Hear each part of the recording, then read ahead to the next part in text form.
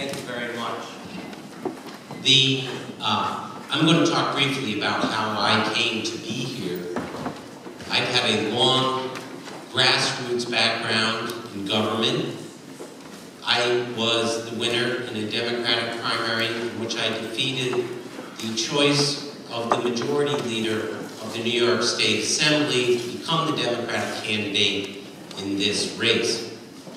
I'm a civil rights and employment attorney. Private practice, I represent people who have not been paid wages they were owed, or did not get pensions they were due, or people that were victims of discrimination in the workplace on the basis of age, race, sex, or disability. I decided, somewhat out of the blue, in 1999 to run for a seat in the Albany County Legislature in a district that had never elected a Democrat. To everyone's surprise, and bit to mine, I was elected. Since that time, I've been elected, re-elected three times. And I think it shows that I have an ability to cut across party lines, gaining support, and also that the voters have been relatively happy with my uh, performance. But the main thing is that I've learned a lot serving in the county legislature. I've learned a lot about the things the state does that make it difficult for our local communities to have success. And I'd just like to mention two of them today. Medicaid. It's, I'm a Democrat, I support Medicaid, a healthcare system for the poor, but it's funded differently in New York than any other state.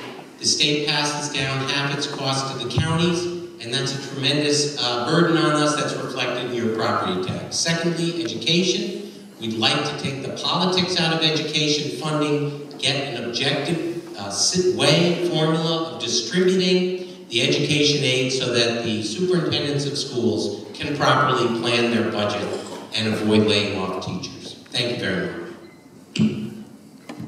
Ms. Whalen. Thank you.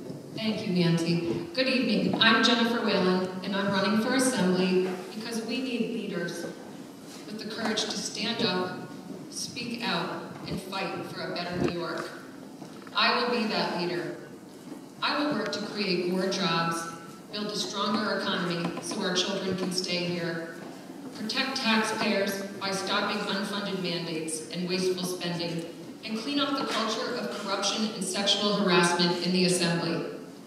This race boils down to leadership, and which candidate has shown the capacity and the courage to lead.